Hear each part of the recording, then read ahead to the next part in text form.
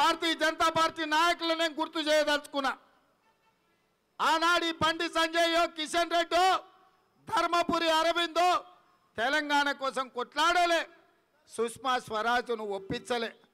ఆ ఎల్ల పార్లమెంట్లో బిల్లు వచ్చినప్పుడు ప్రధాన ప్రతిపక్ష నాయకురాలుగా ఉన్న సుష్మా స్వరాజ్ గారిని మా మిత్రుడు మా సోదరుడు పొన్నం ప్రభాకర్ గారు కాళ్ళకు దండం పెట్టి అమ్మా తెలంగాణలో వందలాది బిడ్డలు ఆత్మ బలిదానాలు చేసుకుంటున్నారు.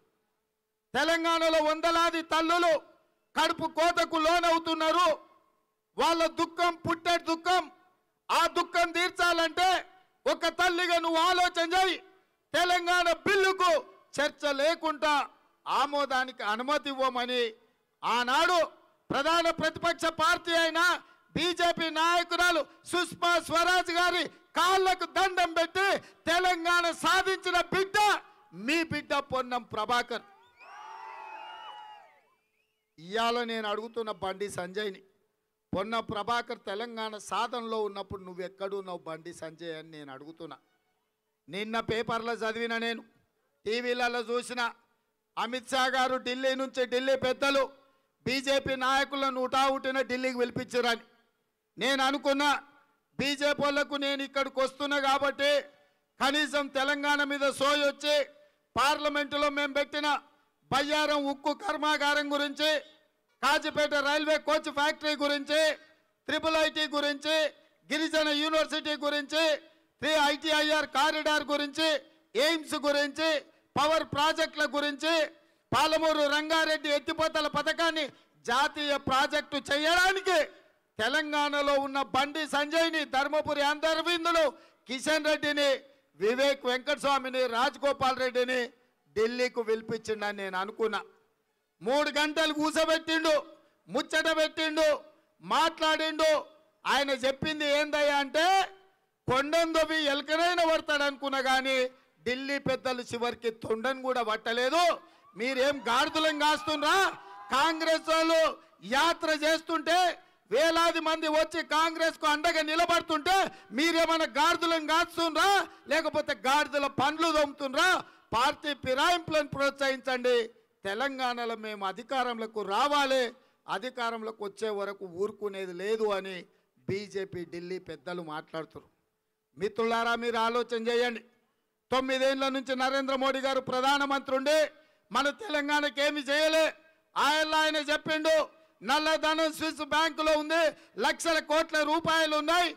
భారతీయ జనతా పార్టీ అధికారంలోకి వచ్చిన మరుక్షణం లక్షల కోట్ల రూపాయలు తీసుకొచ్చి ప్రతి పేదవాడి ఖాతాలో పదిహేను లక్షల రూపాయలు వేస్తా అని చెప్పి తొమ్మిదేళ్ళైంది. పదిహేను పైసలైనా బీజేపీ వాళ్ళు మన ఖాతాలో వేసిండ్రా. మీరు ఒక్కసారి ఆలోచన చేయండి. ఇదే కాదు నరేంద్ర మోడీ చెప్పిండు నిరుద్యోగం పెరిగిపోతుంది. దేశంలో దరిద్రం ఆకలి చావులు ఉన్నాయి.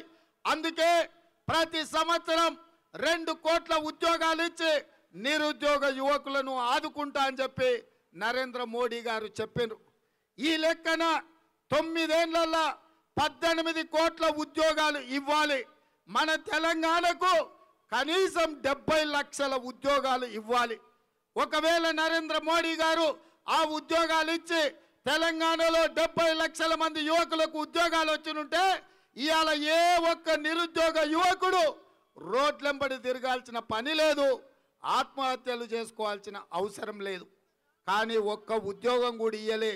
నేను పార్లమెంటులో ప్రశ్నిస్తే ఇరవై ఒక్క కోట్ల అప్లికేషన్లు ఉద్యోగాలకు వస్తే ఏడు లక్షల ఒక వెయ్యి అరవై నాలుగు ఉద్యోగాలు ఇచ్చినామని నిస్సిగ్గుగా పార్లమెంటు సాక్షిగా ప్రధానమంత్రి సమాధానం చెప్పిండ్రు. ఇవాళ పదిహేను లక్షల పేదల ఖాతాలు వేయలేదు. ఇవాళ ఈ పద్దెనిమిది కోట్ల ఉద్యోగాలు ఇవ్వలేదు. కానీ నరేంద్ర మోడీ చేసిన పనేందయ్యా అంటే నాలుగు వందల సిలిండర్ పన్నెండు వందలు చేసిండు. యాభై ఐదు రూపాయలు ఉన్న పెట్రోలు నూట పన్నెండు రూపాయలు చేసిండు. యాభై రూపాయలు ఉన్న డీజిల్ ఇవాళ వంద రూపాయలు చేసిండు. ఎరువుల ధరలు పెంచిండు.